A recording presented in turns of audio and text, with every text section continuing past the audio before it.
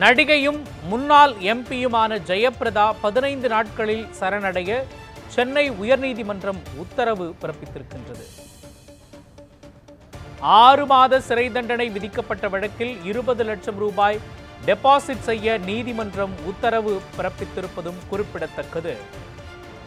நடிகையும் முன்னாள் எம்பியுமான ஜெயப்பிரதா பதினைந்து நாட்களில் சரணடைய சென்னை உயர்நீதிமன்றம் உத்தரவு பிறப்பித்திருக்கின்றது.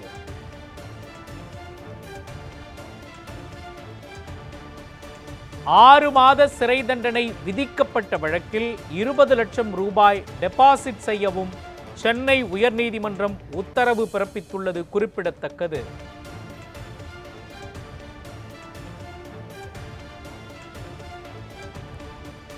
திரையரங்கு ஊழியர்களிடம் வசூலித்த இஎஸ்ஐ தொகையை செலுத்தாதது தொடர்பான வழக்கில் ஆறு மாத சிறை தண்டனை அவருக்கு விதிக்கப்பட்டிருக்கிற சூழலில் பதினைந்து நாட்களுக்குள் சரணடையுமாறு நடிகையும் முன்னாள் எம்பியுமான ஜெயப்பிரதாவிற்கு சென்னை உயர்நீதிமன்றம் உத்தரவு பிறப்பித்திருக்கின்றது.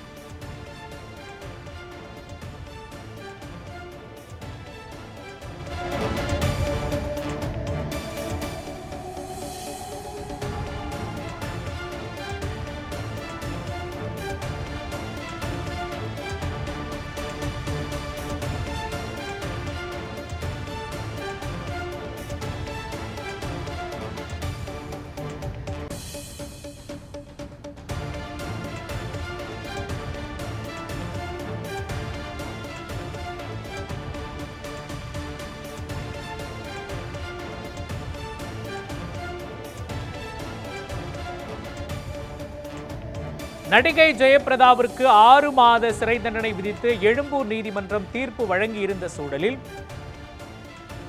ஆறு மாத சிறை தண்டனை விதிக்கப்பட்ட வழக்கில் இருபது லட்சம் ரூபாய் டெபாசிட் செய்ய சென்னை உயர்நீதிமன்றம் உத்தரவு பிறப்பித்திருப்பதும் குறிப்பிடத்தக்கது. அவருக்கு சொந்தமான திரையரங்களில் பணியாற்றிய பணியாளர்களுக்கு இஎஸ்ஐ தொகையை செலுத்தவில்லை என்று குற்றம் சாட்டப்பட்ட வழக்கில் இந்த உத்தரவு பிறப்பிக்கப்பட்டிருக்கிறது. ஆறு மாத சிறை தண்டனை விதிக்கப்பட்ட வழக்கில் இருபது லட்சம் ரூபாய் டெபாசிட் செய்ய நீதிமன்றம் உத்தரவு பிறப்பித்திருக்கின்றது. பதினைந்து நாட்களில் சரணடையுமாறும் உத்தரவு பிறப்பித்திருக்கின்றது.